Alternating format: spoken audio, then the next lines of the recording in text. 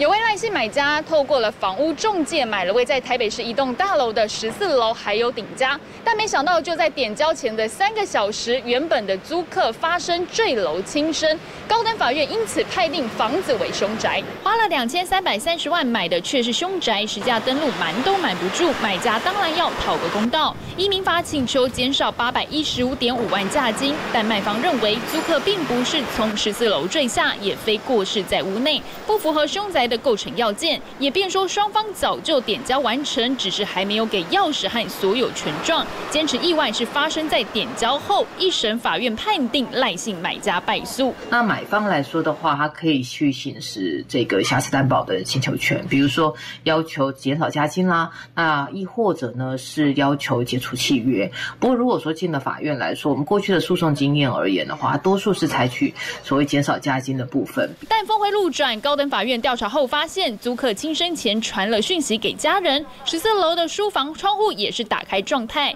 十三楼露台、五楼遮雨棚都有撞击痕迹，判定十四楼为凶宅。判决前，赖姓买家也已经把房子转卖回给房屋公司，因此房屋公司可以请求减少价金六百五十万。所谓的瑕疵买回是房仲公司跟买方订立的一个契约，所以如果说发生了一些重大的瑕疵，符合房仲公司当初订立的规范的话，房仲公司就必。须要负责买回。凶宅的定义不只有屋内死亡，从房子坠楼或是被事件波及，都有可能被判定。而点交时间点就是关键所在，否则瞬间变凶宅，房屋掉价，恐怕没人愿意接受。东森新闻吴才贤、萧涵台北报道。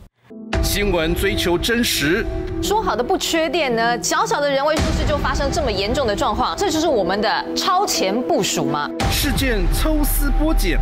会怎样？快筛试剂就是买不到，黑暗期即将开始。我们理性思考。我觉得这字眼有点太重了。台湾，你真的准备好了吗？您信赖的选择，东森晚间新闻。